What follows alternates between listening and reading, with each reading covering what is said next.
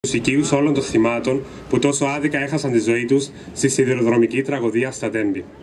Ο πόνος για την τραγική απώλεια της Αναστασίας και του Κυπριανού είναι αβάσταχτος. Μετά το συγκλονισμό και την οδύνη ακολουθεί η οργή.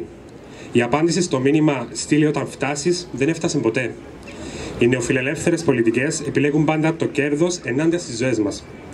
Το έγκλημα αυτό να μην συγκαλυφθεί. Όλων των νεκρών θα γίνουμε η φωνή είναι το σύνθημα που η αρχή από χθες στις μαζικές κινητοποιήσεις που πραγματοποιούνται στην Ελλάδα από τους φοιτητικούς συλλόγους, οι οποίες όλο και μαζικοποιούνται και αγκαλιάζονται.